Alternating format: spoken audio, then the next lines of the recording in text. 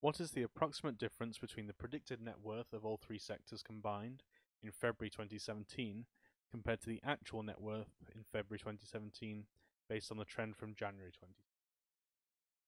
First, let's look at the trend between these two points, January 17 and February 2017 overall. So, for January, the total stock price for all of these is 8,300 plus 8,000 plus 7,600 is 23,900.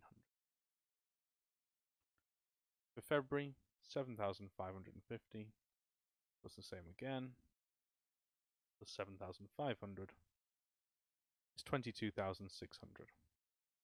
So the percentage change between the two months, 22,600 minus the old value divided by the old value multiplied by 100 is minus 5.4% or a 5.4% decrease.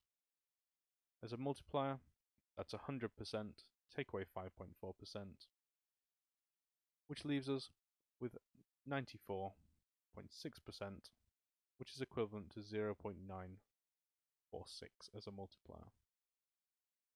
So, if we have a look at the net worth for January here, we have these three values. We're looking at the total net worth, so we want the sum of those. If we add all these together, we'll get a total of 1,777.43 million.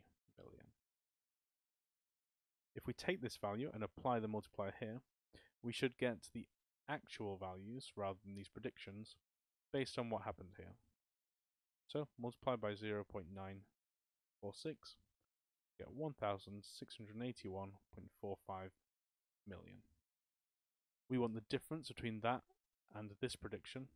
So if we add these three up, we get 1,771.5. So we just need to find the difference between these two, which is approximately 90 million.